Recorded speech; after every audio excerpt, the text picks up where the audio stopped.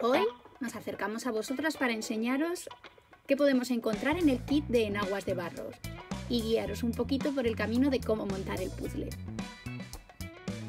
¿Qué os parece difícil? Ya veréis cómo no. Seguidme y os enseño cómo hacerlo. Ya tenemos nuestro kit de enaguas de barros. Vamos a ver cómo viene para poder hacerlo. Lo primero que nos sale son dos largos para la base. Los volantes ya cortados. Y por último, la cinturilla.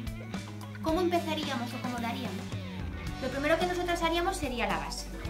Entonces uniríamos estos dos largos los laterales, concretamente ahora con los orillos vivos, como podéis ver. Y yo los cosería hasta un trozo hasta aquí dejando liso la parte de arriba. Y un dobladillo en el medio. Plancharíamos, evidentemente. Lo guardaríamos y cogeríamos los volantes. Uniríamos todos los volantes que nos vienen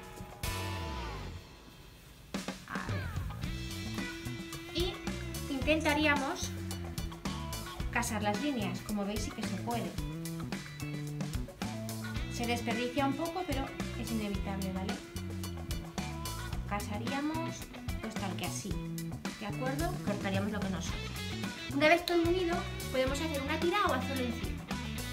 Cuando ya lo tenemos unido, para que quede más bonito el volante, lo podemos eh, terminar con un 10, con una puntilla, como queramos.